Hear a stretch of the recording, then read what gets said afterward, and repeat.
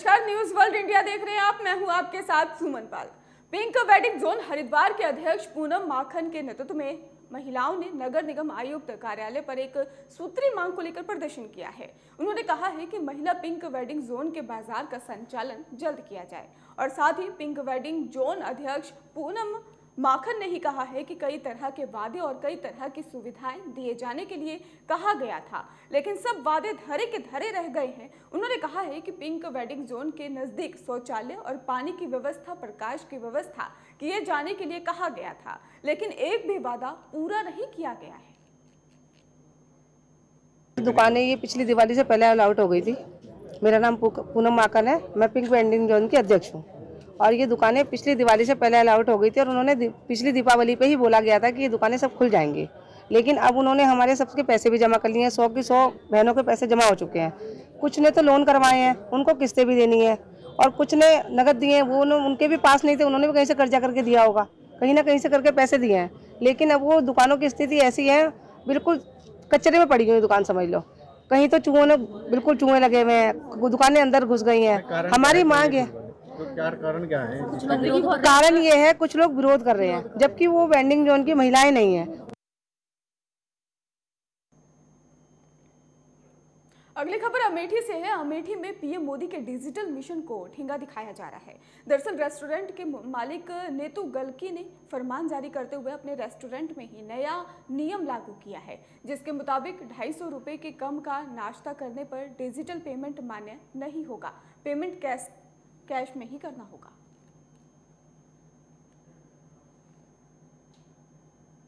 श्रावस्ती में जिलाधिकारी ने मृतक लेखपाल के घर पहुंचकर सांत्ववादी दी है और इसके साथ ही राहत सामग्री वितरित करते जाते समय ही नाव पलटने के बाढ़ के, डूबकर ही लेखपाल की मौत हो गई थी, ये जानकारी है। और जिसके बाद से ही बाढ़ कम होने पर छह दिन बाद मिट्टी में लेखपाल का शव ढका हुआ मिला था। वहीं डीएम ने परिजनों से मुलाकात कर हर संभव मदद का भरोसा भी दे दिया है।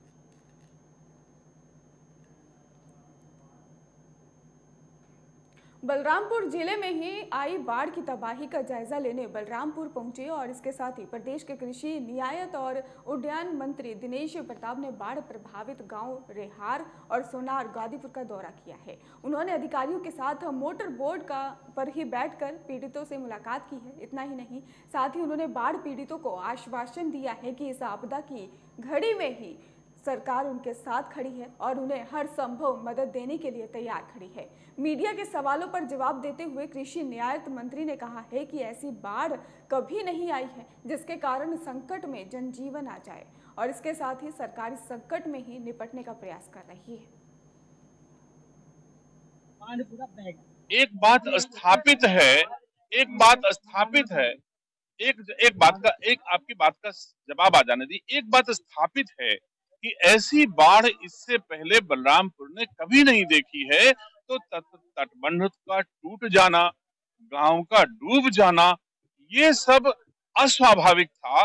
तो अस्वाभाविक होने के कारण संकट में जनजीवन हुआ है, सरकार प्रयास कर रही है, तटबंध टूटे होंगे तो उनकी मरम्मत होगी, तटबंध की और आवश्यकता होगी तो हम लोग तटबंधों को बढ़ाएँगे। हमारे जिलाधिकारी ने भी इस बात की अपेक्षा की है कि तटबंधों को और लंबे दूर तक बढ़ाए जाने की आवश्यकता है।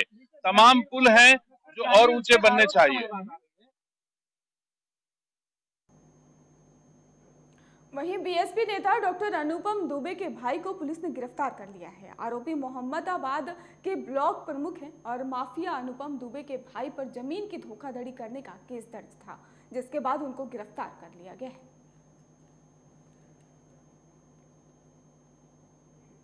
जम्मू कश्मीर के उपराज्यपाल मनोज सिन्हा गाजीपुर पहुँचे, जहाँ लोगों ने उनका जोरदार स्वागत किया है। उपराज्यपाल मनोज सिन्हा अपने पृथक गाँव मोहम्मदाबाद के ही मोहनपुरवा में एक पारिवारिक कार्यक्रम में पहुँचे हैं और इस दौरान ही गाजीपुर की शहादत जो है उसमें सिधोना में पहुँचते ही भारी संख्या में कार्यकर्ताओं ने उपराज्यपाल का जोरदार स्वागत किया है।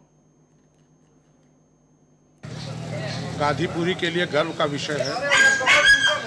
माननीय मनोज सिन्हा जी, जो गाजीपुरी के यशस्वी लाल हैं, माननीय प्रधानमंत्री नरेंद्र मोदी जी और गृह मंत्री अमित शाह जी के निर्देशन में जम्मू कश्मीर में धारा 370 समाप्त होने के बाद जिस प्रकार से वहाँ की राजनीतिक परिस्थितियों को सुधारने का अभूतपूर्व कार्य मनोज जी ने किया है, वह हम सब के लिए बेहद प्रेरणादायी है। हम सब के लिए यह गर्व का विषय है कि गाजीपुर के एक लाल ने देश की एक बड़ी समस्या को सुलझाने में जिस प्रकार से मेहनत किया है, कार्य किया है इसलिए आज गाजीपुर आगमन पर गाजीपुर के लोग, भारतीय जनता पार्टी के कार्यकर्ताओं ने गाजीपुर ज़िले में प्रवेश से लगाए यहाँ तक और आगे जहाँ पर मोहनपुर अपने पैतृक गाँव जा रहे हैं, वहाँ रास्ते में इनके स्वागत की योजना है।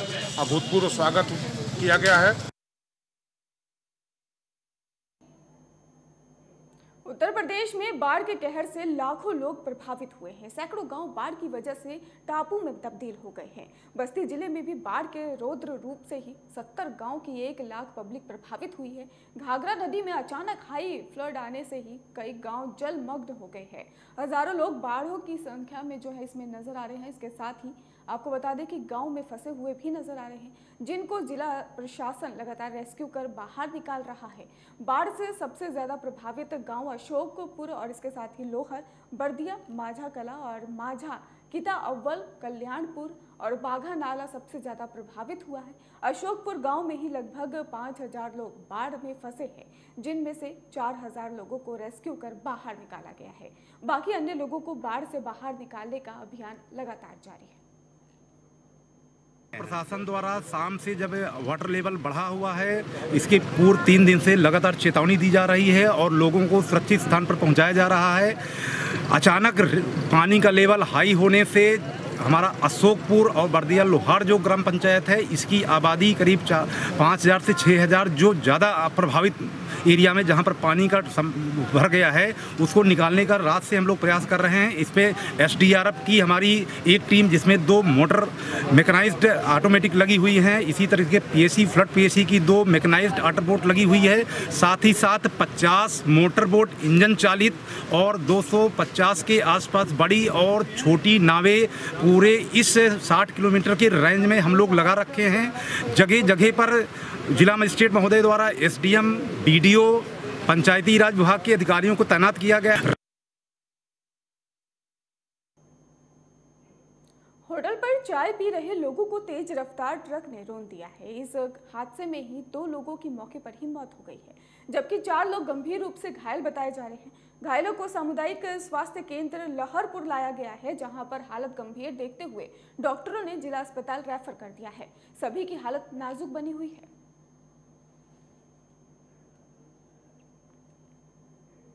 बुलंदशहर में पराली जलाने से लोगों में जो है वो दहशत देखने को मिल रही है। दरअसल प्रभावों से ही बुलंदशहर के किसान और आम जन में ही जागरूकता लाने के लिए ही कृषि विभाग ने जिला आपदा प्रबंधन प्राधिकरण के सहयोग से आपदा मित्रों की जागरूकता रैली को आयोजित किया है।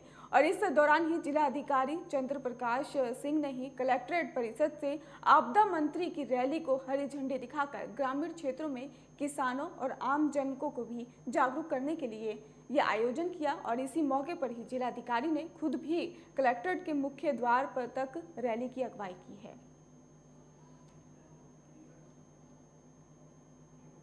अलीगढ़ के ही बेसवा कस्बे में बड़ा हादसा हो गया और जहाँ पर भरभरा कर ही प्राइमरी स्कूल की छत गिर गई, जिसके बाद रेस्क्यू ऑपरेशन चलाते हुए ग्रामीणों ने पाँच बच्चों को बाहर निकाला। चारों घायल बच्चों को ही हॉस्पिटल में भर्ती करवा दिया गया है। मामले को लेकर ग्रामीणों में भारी आक्रोश देखने को मिल रहा है। वहीं पुलिस और प्रशासनिक अधिकारी ने मौके पहुँच पहुँच कर ही जाँच पड़ताल शुरू कर दी है।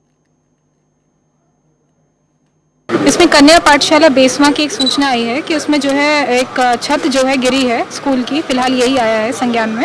और इसमें जो है पाँच बच्चे जो है घायल होने की सूचना है। सभी को जो है सीएचसी क्लास में रेफर कर दिया गया है। सभी खतरे से बाहर है। एक लड़की के पैर में फ्रैक्चर हुआ है, उसे अलीगढ़ के लिए रेफर कर दिया गया है प्रयागराज के खानपुर तांडी गाँव में ही विद्युत पोल में उतर रहे करंट की चपेट में आने से एक युवक की मौत हो गई है, जिसके बाद परिजनों ने शव रखकर हंगामा किया। साथ ही परिजनों ने अंतिम संस्कार करने से मना भी कर दिया। परिजन मुआवजे की मांग को लेकर अड़े रहे। पुलिस ने परिजनों को समझा बुझाकर लाश को कब्जे में लेकर पोस्टमार्टम के लिए भेज दिया है।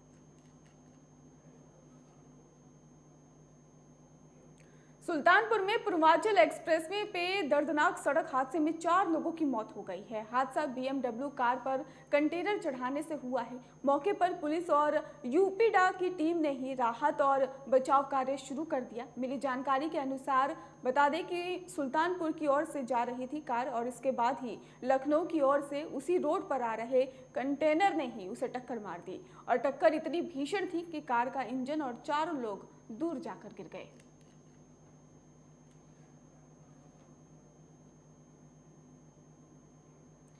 सपा सांसद बीजेपी के खिलाफ हमलावर हुए हैं। उन्होंने कहा है कि बीजेपी लगातार मस्जिदों को ही टारगेट करने में लगी हुई है।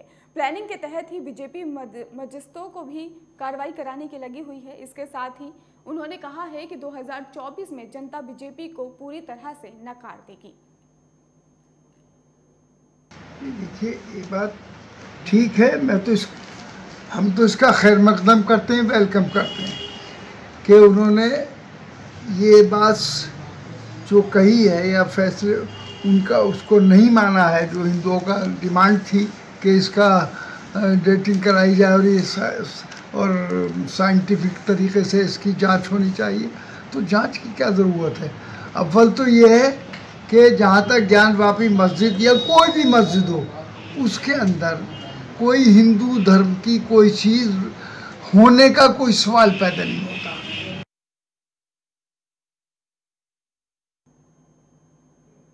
ऋषिकेश के निर्मक ब्लॉक बी स्थित विस्थापित कॉलोनी में ही पीडब्ल्यूडी विभाग एक बिल्डर का मेहरबान दिखाई दे रहा है। पी आपको बता दें कि पीडब्ल्यूडी विभाग ने ही अवैध रूप से सीवर लाइन बिछाने के लिए ही रोड कंटिंग की ही परमिशन बिल्डर को बहुत ही सस्ते दरों पर दे दी है। मामला संज्ञान में आया तो स्थानीय लोगों ने ही अवैध सीवर लाइन के विरोध में सड़कों पर उतर गए और लोगों ने सीवर लाइन का काम रुकवाते हुए नियमों के तहत ही बिल्डर पर कार्रवाई करने की मांग विभाग से की है और इसके साथ ही लोगों ने चेतावनी दी है कि यदि विभाग ने बिल्डर पर कार्रवाई नहीं की तो उग्र आंदोलन करने के लिए मजबूर होंगे। फ़िलहाल इस बुलेटिन में इतना ही। आप देखते रहिए न्यूज़ वर्ल्ड इंडिया।